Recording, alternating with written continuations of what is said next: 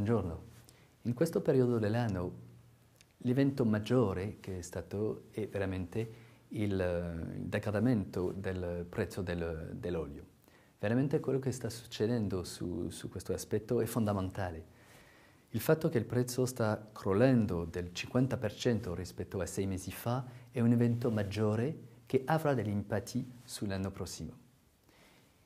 Rapidamente possiamo dire che questa, questa mossa dei prezzi è mo molto favorevole ai, ai, paesi consumatori di, di pre, di, del greggio, quando invece è esattamente l'opposto per i, paesi che producono questo, questo, greggio. Quello che vediamo è che uh, questo un, darà più del, del consumo a questi paesi, quando invece l'impatto sul prezzo generale, sull'indice dei prezzi, sarà abbastanza negativo avremo probabilmente nel 2015, nei primi mesi del, eh, del 2015, dei prezzi negativi in Europa.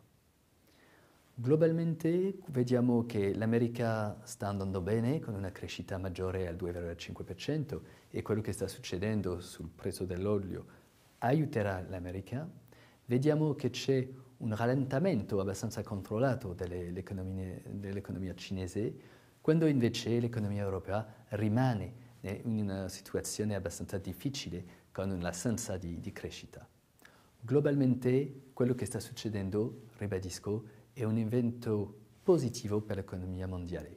Avendo detto questo, sappiamo anche che l'impatto a livello geopolitico sarà abbastanza forte e potrebbe incrementare la volatilità che abbiamo vissuto recentemente. La reazione degli investitori durante questo mese di dicembre eh, di fronte a questo evento è abbastanza tradizionale. Quello, questo si chiama flight to quality, dunque c'è un premio alla qualità, alla sicurezza. Quello che è successo è dunque abbastanza tradizionale, con un abbassamento fortissimo dei tassi a lungo termine. Adesso vediamo che siamo a dei livelli record in termini di, di, di tassi di interesse. Vediamo anche che i paesi emergenti sono stati colpiti ovunque su quel qualunque sia l'asset class, e poi che i mercati azionari globalmente sono scesi a scapito uh, di, di, questo, di, questo, evento. Vediamo anche che il riflesso di ricerca della qualità ha, è stato favorevole a due valute, il dollaro e allo yen, che sono, valute, che sono considerate come delle valute più uh, safe rispetto alle altre. Quali sono le, la, le nostre raccomandazioni in questo ambito? Manteniamo il nostro giudizio secondo il quale il mercato azionario sarà il mercato da favorire in termini di rendimento rispetto al, al rischio preso. La caduta che sta succedendo adesso sarà veramente a mettere a profitto per poter reinvestire sia sul mercato azionario europeo che sul mercato dei paesi emergenti. Sul mercato europeo pensiamo che possiamo farlo nei, nei prossimi giorni. Invece, per quanto riguarda i mercati eh, emergenti, bisognerà probabilmente aspettare uno o due trimestri in più prima di ritornare.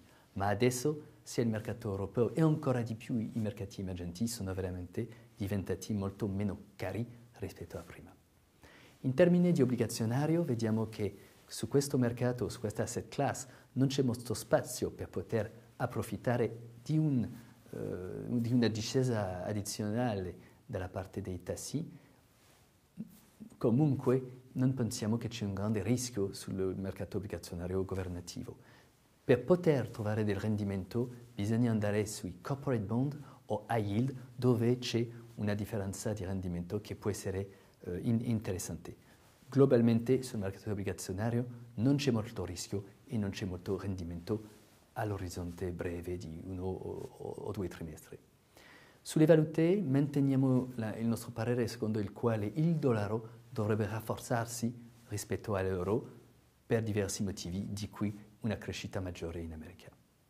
Vi ringrazio per la vostra attenzione e vi auguro un eh, bellissimo Natale e un buon anno 2015. Arrivederci.